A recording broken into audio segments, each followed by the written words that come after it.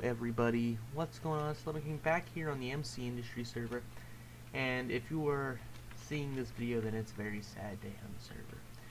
Basically, what's going on is that our owner, Codes here, is going to be getting off to college, and he has things he needs to get attended to, so we don't have anybody to run the server in that endpoint. But if you're not seeing this, then obviously we found a way to keep it open. But if you are seeing this, then it is the end of MC Industry.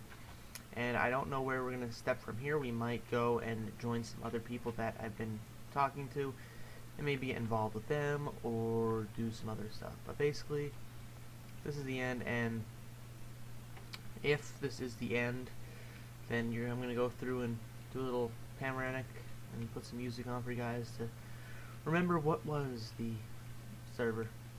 And yeah, it's sad that we didn't get to complete it.